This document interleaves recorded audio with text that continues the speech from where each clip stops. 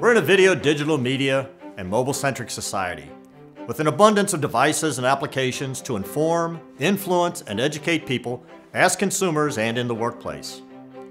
Through innovation and new technology, digital media is constantly changing, driving collaboration, interaction, and the sharing of content. At the forefront of this revolution is video. Video is the preferred means for individuals to receive, view, and consume content versus print and other static media. This makes for a compelling story in the enterprise space where companies, associations, and government agencies are embracing video as a powerful communications and learning tool. In fact, astute leaders consider video to be a strategic business requirement. And as the use of video in the workplace increases, organizations are finding ways to use video to reduce and offset costs, increase revenue, improve customer satisfaction, and improve the bottom line. Their organizations conduct live, interactive training sessions and employ communications such as executive briefings, meetings, and conferences, as well as deliver business updates and market information to the news media. The organizations provide videos and modules on products, services, and other relevant corporate information for on-demand viewing.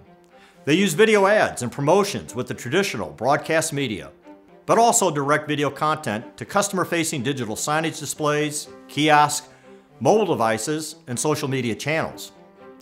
Also, video is used to refresh, update, and enhance performance support of workers while on the job, including those in the field.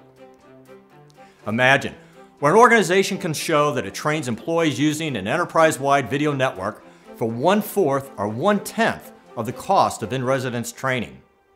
Are that increased sales and customer satisfaction can be attributed to performance support, where field technicians or agents reference video clips to ensure they provide service correctly or capture the opportunity to upsell services. In review, the use of video and digital media is increasing exponentially. Today's video solutions are feature-rich with extensive operational, functional, and technical capabilities. They are effective, secure, and affordable, which contributes greatly to why forward-thinking leaders are embracing video as a powerful communications and learning tool. One that can improve business results through reduced or offset costs and increased revenues. What do you think? We're interested in hearing your thoughts and perspectives on the use of video for enterprise communications and workplace learning. Enliten Management Group